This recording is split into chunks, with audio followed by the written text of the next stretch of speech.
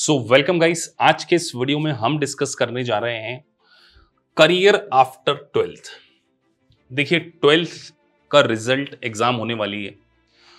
आप twelfth class में हैं और एक आपको डिसीज़न लेना है कि सर हमें ट्वेल्थ के बाद कौन सा कोर्स करना चाहिए। तो यहाँ आज मैं आपसे जो डिस्कस करने जा रहा हूँ, वो इंटरनेशनल कोर्सेज के बारे में डिस्कस करने जा रहा हूँ। मैं डोमेस्टिक कोर्स के बारे में किसी दूसरे वीडियो में डिस्कस करूँगा। देखिए, जब कभी भी ट्वेल्थ के बाद स्टूडेंट कॉमर्स फ़ील्ड में आगे बढ़ते हैं। तो traditional courses like company secretary chartered accountant MBA या ग्रेजुएशन नॉर्मली करते हैं बच्चे। क्या आपको पता है कि आज वर्ल्ड ग्लोबलाइज हो चुका है और इंटरनेशनल अपॉर्चुनिटीज़ बहुत ज़्यादा है, बहुत सारी मल्टीनेशनल कंपनीज़ इंडिया में है? तो ऐसा करियर जो कि आपको इंटरनेशनली एस्टेब्लिश कर सके, जो आपको अच्छी सैलरी भी दे सके और डिफिकल्टी लेवल उतना ज़्यादा ना हो। मतलब आप साइमल्टेनियसली अपने ग्रेजुएशन के साथ में एक प्रोफेशनल डिग्री को अचीव कर सकते हैं। तो आज दो शॉर्ट टर्म पीरियड के कोर्स जो आफ्टर ट्वेल्थ अगर आप परस्यू कर लेंगे तो ना केवल इंडिया बल्कि आपकी रीच ग्लोबली होगी। इंडिया में बहुत सारे स्टूडेंट अपनी फर्दर स्टडी के लिए स्टडी वीज़ा पे आउट ऑफ़ इंडिया जाते हैं। लेकिन उनके पास एक प्रोफेशनल डिग्री मिसिंग होती है। लाखों रुपए खर्चा करने के बावजूद वो अच्छी सैलरी को अचीव नहीं कर पाते। लेकिन अगर हम इंटरनेशनल कोर्सेज के बारे में डिस्कस करें तो आपको क्या क्या अपॉर्चुनिटीज़ मिल सकती है? तो सबसे पहले, जब कभी भी ट्वेल्थ के बाद आपको करियर बनाना हो, कोशिश कीजिए स्पेशलाइजेशन की ओर फोकस कीजिए।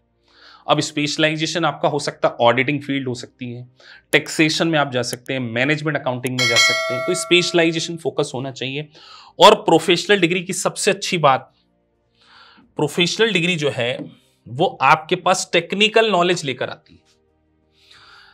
ब्रांड नेम, ग्लोबल, जिसको सारा वर्ल्ड जाने, ऐसा क्या डेजिग्नेशन हो सकता है?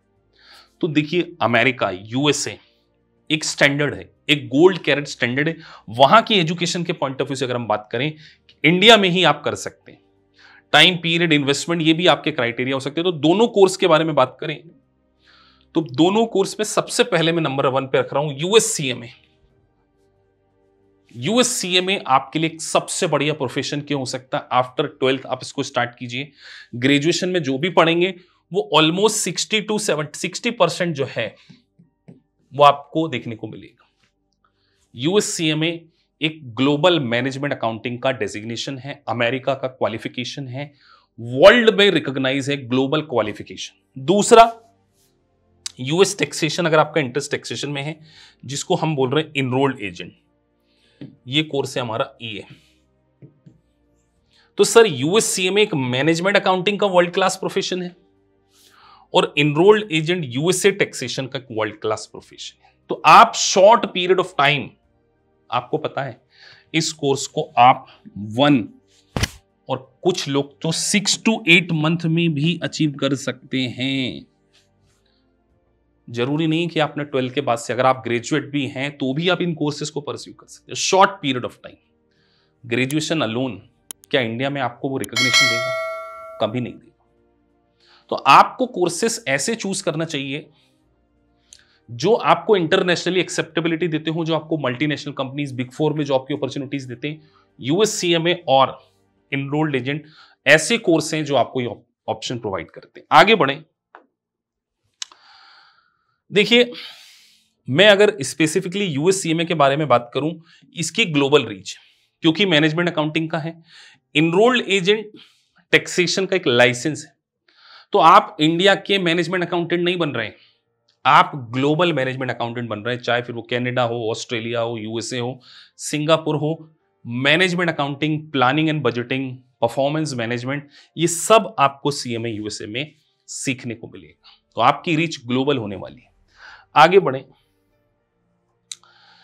सर यूएससीए में एक तो अच्छी सैलरी मिलेगी। ग्रेजुएट करने के बाद twenty thousand, twenty five thousand की जॉब के लिए स्ट्रगल करते हैं। वहीं ग्रेजुएशन प्लस यूएससीए में minimum five to six lakh का पैकेज होगा। Minimum five to six.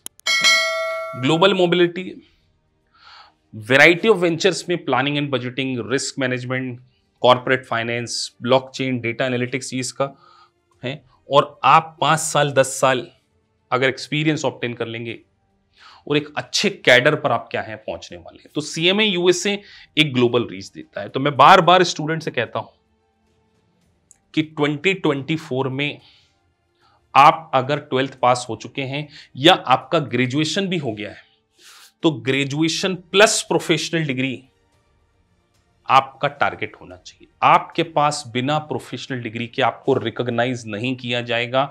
बहुत सारे लोग मैंने देखा है। ग्रेजुएशन के बाद किसी मीडियोकर कॉलेज से एमबीए करते हैं। पाँच छह लाख लगाकर भी। और यहाँ पर आपका investment less than two lakh है।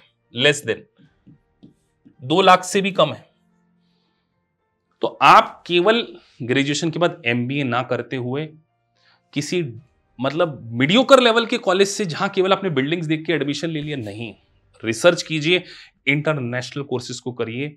ग्रेजुएशन प्लस प्रोफेशनल डिग्री आपकी लाइफ में बहुत बड़ा चेंज लेकर आ सकता है, लेकिन बहुत सारे स्टूडेंट को करियर काउंसलिंग ही नहीं होती कि सर ट्वेल्थ के बाद क्या करना चाहिए। इसलिए वो स्ट्रगल करते हैं, पाँच साल, दस साल स्ट्रगल करने के बाद ये नॉलेज मिलता है। तो इस छोटे से वीडियो में मैं यही कहना चाहूँगा करियर एक बहुत बड़ा डिसीज़न है आफ्टर ट्वेल्थ जो आपको रिसर्च कर कर ही लेना चाहिए। So thank you for watching this video अगर आपको वीडियो अच्छा लगा है so please like and subscribe the channel